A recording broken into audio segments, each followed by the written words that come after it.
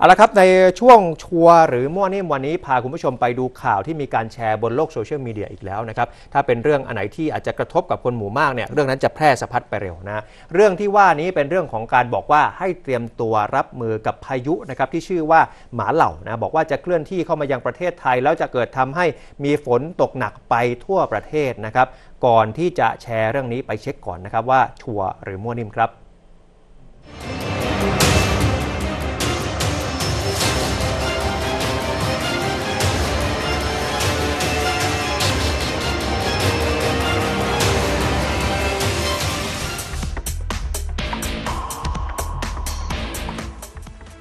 กรณีที่มีส่งต่อข้อความเตือนภัยว่าพายุหมาเหล่าจะเข้าไทยทำฝนตกหนักทั่วประเทศ ตรวจสอบชนี้ไปที่กรมอุตุนิยมวิทยาได้คำตอบว่าเป็นแชร์มั่วนิ่มค่ะ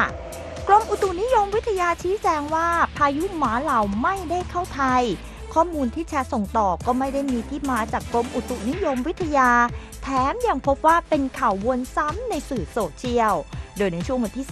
15-18 พฤษภาคมนี้ ลมตะวันตกเฉียงใต้พัดปกคลุมประเทศไทยตอนบน ทำให้ประเทศไทยตอนบนนั้นยังคงมีฝนฟ้าขนองเกิดขึ้นได้เท่านั้น ที่โพสต์ที่แชร์ มัวนิมนะคะ